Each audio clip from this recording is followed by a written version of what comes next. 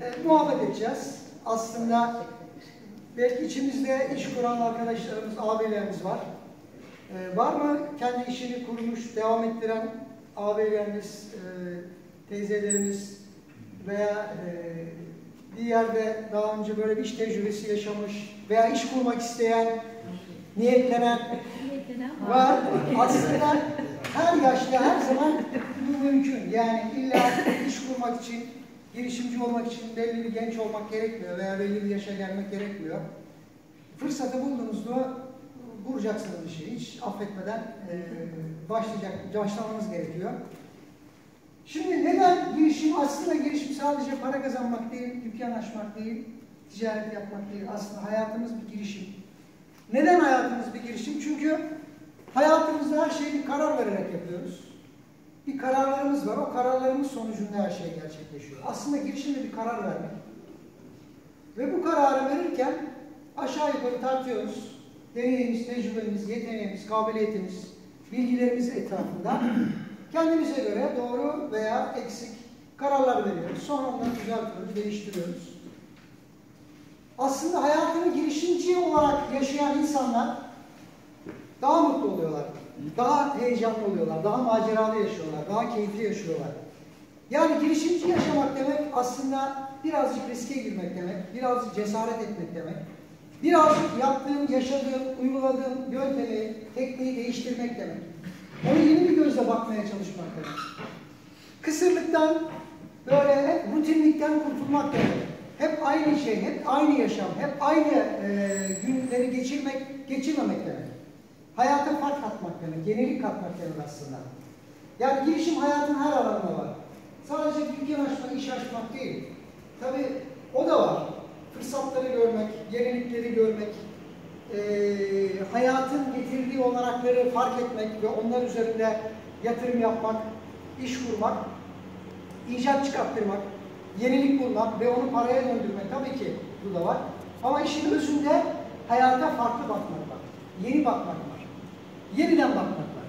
Alışılmışın dışında bakmak var. Tabii bu biraz cesaret istiyor, bir biraz emek istiyor, bilgi istiyor, çaba istiyor. E bunu yapmazsak ne oluyoruz?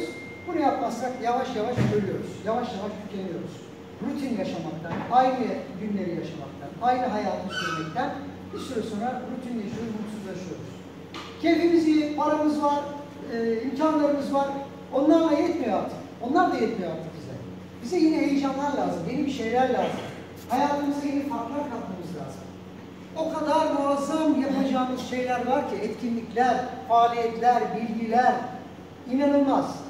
Şimdi bir kitap okuyorum, Moby Dick isminde bir kitap. Yunus e, eski balinalarının av hikayelerini anlatıyor. Dünyaca meşhur bir filmleri falan da yapıldı. Yer yer deniz. Orada denizleri, okyanusları, balıkların yaşamını, e, balinaların hayatını görüyorsunuz. İnanılmaz bir dünyaya giriyorsunuz. Yani dünya o kadar güzel, o kadar renkli ki biraz bulunduğumuz yerden ileri gitmek, bakmak gerekiyor, hareket etmek gerekiyor. Tabii yaşı benden çok değerli abilerimiz var. Onlara kesin bir, e, bir şey anlatmak değil. Sadece kendi tecrübelerini, yaşam hikayemler paylaşacağım. Sizlerin de değerli fikirlerini, düşüncelerini alacağım. E, çok da mutlu olacağım. Şimdi çok basit anlamıyla size e, girişimcilik nedir, neler yapılıyor, e, bir iş kurarken neye dikkat etmek lazım, e, ne gibi hazırlık yapmak lazım, bunlar hakkında şöyle genel e, bir bilgi vereceğim. Biz bu eğitimleri 400 yapıyoruz COSGAP İşkur e, desteğiyle beraber. Aslında daha da fazla verilmesi lazım. E, COSGAP sayesinde başladı bu eğitimler. Aslında kimsenin aklında yok. Cebine parayı koyan dükkan açmaya gidiyor, sonra batıyor. Neden battın oğlum? E, yanlış yer açmışız. Çok masraf etmişiz. Parayı çok çarçur harcamışız. Düşünemediydim. Bu kadar para gideceğini bilmiyordum. Aylık şu kadar masraf var, kira var, kira parasını çıkaramıyorum. Ha, hesabın kitabını yaptın mı? Aylık ne kadar para harcan? Bu iş gider mi? Pazarı var mı? Müşterisi var mı? Baktın mı? Yok. Bodoslama diyor. Ya bizim komşu Vela'nın oğlu yapıyor da ben de yapayım. Ya o ne güzel para kazanıyor. Ben de kazanayım. Ne güzel iş yapıyor. Parayı doğrulttu. Bak adam altına araba aldı. Bak bak bak bak bak araba aldı. Ben de alacağım araba. Ben de aynısını yapacağım. Parayla değil bunu. Basıyor parayı giriyor. Ondan bundan borç alıyor. Ondan sonra onu da batırıyor. komşusunun arkadaşının işini de batırıyor. Aynı rekabet yapıyor. Aynı işi yapmaya kalkıyor. Ondan sonra top dikiyor. Yani burada bizim vermek istediğimiz bir bilinç kazandırmak. Yani iş kurmak hakikaten göründüğü kadar basit bir şey değil. Yani bir hazırlık gerektiriyor, bir araştırma gerektiriyor, bir çaba gerektiriyor. Sadece para yetmiyor. Zannediyorlar ki parayı ver ben istediğim işi yaparım, vurarım. Yok öyle bir şey.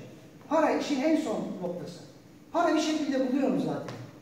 Yani siz para kazandıracak karlı bir iş geliştirdiğiniz zaman birileri geliyorsa ya kardeşim gel beraber yapalım diyor. Ben yatırım yapayım diyor. Sende bilgi var diyor. Bugün gençler çatır çatır teknoloji yeni ürünler geliştiriyorlar. İnanılmaz paraları satıyorlar. Bilgisayarla, internet yoluyla, teknolojik anlamda. Yenilikler yapıyorlar. Var. Yarışmalar yapılıyor. Anlatıyor genç adam ürününü, yaptığı şeyi. O da diyor ki yatırımcı ben diyor buna diyor para yatırırım diyor. Ortak olurum sana diyor. Yatırıyor. Sonra iş büyüyor. Ondan sonra onu satıyor. Geri veriyor. Sonra çıkıyor gidiyor. Yani bir tür arsa yatırımı gibi. Böyle melek yatırımcılar var. Yani parasını değerlendirmek isteyen, iyi gelir elde etmek isteyen, teknolojinin inanılmaz ona artları çıktı şimdi. Şimdi illa dükkanınıza sabah 8 akşam 5'e kadar açmak zorunda değilsiniz. İnternetten bir dükkan açtığınız zaman 24 saat, 4 mevsim, sabah akşam çalıştırabiliyorsunuz. Pazar bulmanız için gazeteye, dergiye reklam vermeniz gerekmiyor. Veriyorsunuz internette belli medyalara, belli hesaplara. Orada kendi kendine otomatikman zaten ürününüz tanıtılıyor. İnsanlar hakkında yazılar yazıyor.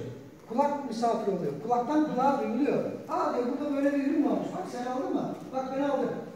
Müşteriniz dünyanın her yeri. Sadece Muratpaşa e, mahallesindeki köşe başı değil. Antalya'nın her yeri, Türkiye'nin her yeri, dünyanın her yeri. İnternete bir kapağı attığınız zaman her yere satış yapabiliyorsunuz. O da işinizi inanılmaz büyütüyor ve geliştiriyor. Bugün doğal ürünler var. Doğal işte lokum satıyor, sucuk satıyor. İnternetten. Türkiye'nin her yerine gönderiyor paket paket. Avrupa'ya gönderiyor. Böyle olanaklar var. Yani artık işin boyutu o kadar büyüdü, gelişti ki inanılmaz fırsatlar var. Şimdi ben kısaca burada e, işletmede nelere dikkat etmemiz lazım? Kabaca böyle genel bir size hatırlatacağım. Ondan sonra e, benim kurs verdiğim girişimci kursiyerlerimin e, işleri hakkında biraz bilgi vereceğim. Burada açan arkadaşlarımızı göstereceğim. Burada da değerli e, üçüncü oldu zannedersem. Üç tane e, benim kursiyerime katılan arkadaşlarım geldi. E, sağ olsunlar. Şereflendirdiler, renklendirdiler. Hala beni takip ediyor. Yani biz girişimi açtıktan sonra bırakmıyoruz. Dersi verdik, hadi bana eyvallah demiyoruz. Açtığı zaman konuşuyoruz, e, bilgimizi paylaşıyoruz, dükkanı ziyaret ediyoruz, onun tanıtımını yapıyoruz. E, birbirleri aralarında işbirliği yapmalarını sağlıyoruz. Yani bırakmıyoruz, tuttuk mu bırakmıyoruz. Bizim amacımız bu ülkede birçok girişimci olsun, üretim artsın, ihracat artsın, işsizlik azalsın, gelir artsın. Yani insanlar çok muazzam yeteneğe, kabiliyete sahip ama evlerinde oturuyor, kahve köşelerinde oturuyor, zamanı öldürüyor. Yani hayatı, yaşamı öldürmeye gelmedik. Arayış içinde, gelişme içinde. Yani bunun için fırsatları aramamız, çaba harcamamız gerekiyor. Emekli bile olsak yapacağımız o kadar çok şey var ki. Yani bu hayatta geldik geçtik mi demek lazım yoksa ben de şu hayatta bir iş bıraktım, bir eser bıraktım, bir iş bıraktım demek mi lazım? Arkanızdan güzel anılmak mı lazım? Çünkü bir anlamı var hayatımızın. Yani bu yaşama gelmemizin bir anlamı var. Burada bir kalıcı bir eser bırakmak, bir faydalı olmak. Ben öyle düşünüyorum.